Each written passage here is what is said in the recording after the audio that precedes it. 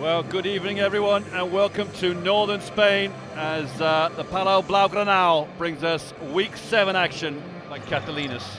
Lorbek spin, double team coming over from Samazinski. Tomic did well to come to the ball, and Tomic will finish the and one. Even off the Bulgarian. Delayed, gets the runner from Nedovic. Aggression that's been hard fought by Mickeal for three. Bang, got it. Bloom's just looking for the three. Ivanov will take the three and drops it. Sada, no look pass, Lorbek, beautiful. Down low, Catalinas, penetrate. Radosavage, count it!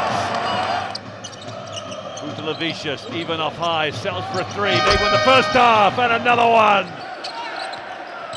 Period for Barcelona. Whoa, what a pass! And what a finish from Ante Tomic a little out of control. Back door goes Nathan Jawai, drops it in the basket.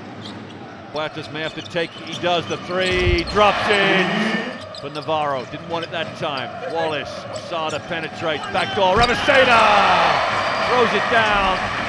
Navarro penetrates, fades for a long two, drops it. 24 for the Maestro, 90 to 66. Barcelona march on. Who will stop?